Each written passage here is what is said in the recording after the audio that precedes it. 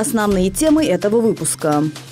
Тела 46 мигрантов, жертв самой страшной средиземноморской трагедии этого года, были похоронены в Ливии.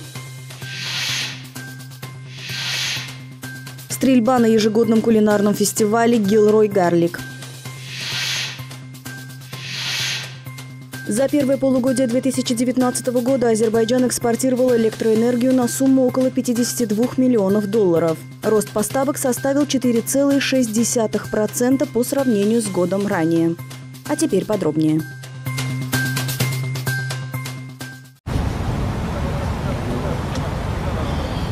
Тела 46 мигрантов, погибших в результате крушения судна в Средиземном море, были похоронены к востоку от Триполи в Сиди-Хелиде. По сообщению Верховного комиссариата ООН по делам беженцев, на борту судна было около 300 человек.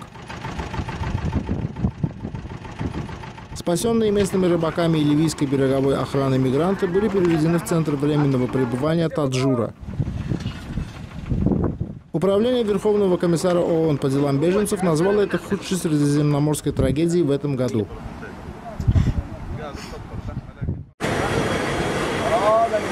В результате взрыва у здания партии Green Trend, кандидата на пост вице-президента Афганистана, погибли 20 человек и по меньшей мере 50 человек получили ранения.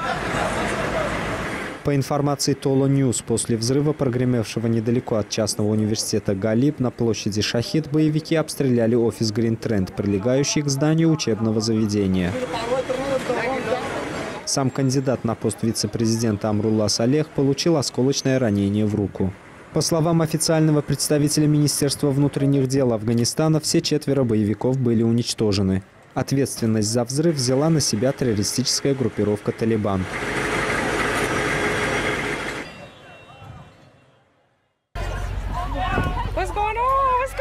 Четыре человека погибли, еще 15 получили ранения в результате стрельбы на ежегодном кулинарном фестивале «Джилрой Гарлик» в городе Гилрой на западе Калифорнии.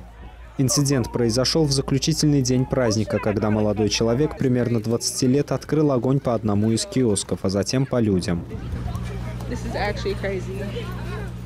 На место происшествия прибыли спасательные службы и несколько вертолетов. Шеф полиции Гилроя Скотт Смит заявил, что в ходе спасательной операции правоохранителям удалось обезвредить предполагаемого преступника, у которого, возможно, был напарник или напарница. Однако эта информация не подтверждена. Людей призвали держаться как можно дальше от этого района, поскольку место происшествия до сих пор считается опасным.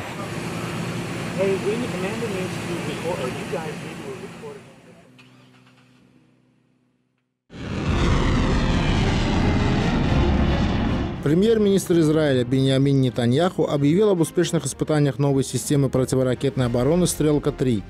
Заявление было сделано во время еженедельного заседания Кабинета министров с участием посла США Дэвида Фридмана в Западном Иерусалиме. Испытания проводились на Аляске совместно с Соединенными Штатами в течение 10 дней и стали первой проверкой оружия Израиля за пределами его территории. בשבועות האחרונים ערכנו שלושה ניסויים סודיים за последние недели мы провели три секретных прорывных испытания ракеты «Стрелка-3», которые удалось полностью перехватить баллистические ракеты вне атмосферы на высотах и скоростях, которых мы не знали до сих пор. Сегодня Израиль имеет возможность действовать против баллистических ракет, выпущенных против нас из Ирана или из любого другого направления. Это большое достижение для безопасности Израиля. Противоракетный комплекс «Стрелка-3» перехватывает цели на высоте до 100 километров и действует на дистанции от 400 до 2500 километров.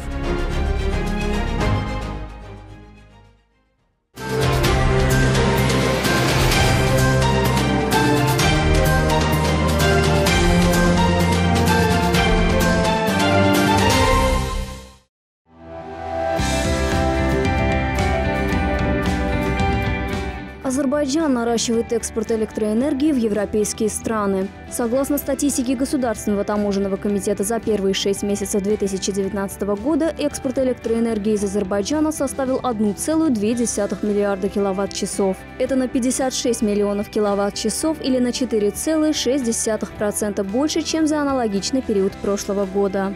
С мая Азербайджан начал экспортировать электроэнергию в Грецию транзитом через Грузию и Турцию. Кроме того, экспорт электроэнергии был осуществлен в Румынию и Венгрию через Болгарию. В планах страны начать поставки электроэнергии в Австрию и Италию. Однако стоит отметить, что за первое полугодие года стоимость энергии снизилась примерно на 50 центов за 1 киловатт-час по сравнению с показателем 2018 года. Азербайджан получил около 52 миллионов долларов от экспорта электроэнергии.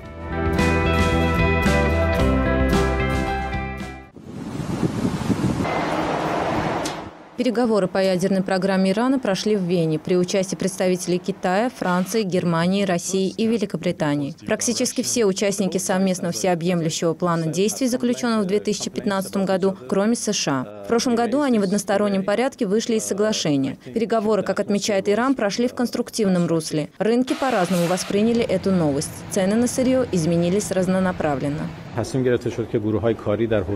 Атмосфера была конструктивной, обсуждение прошло хорошо. Не могу сказать, что мы все решили, но есть много обязательств.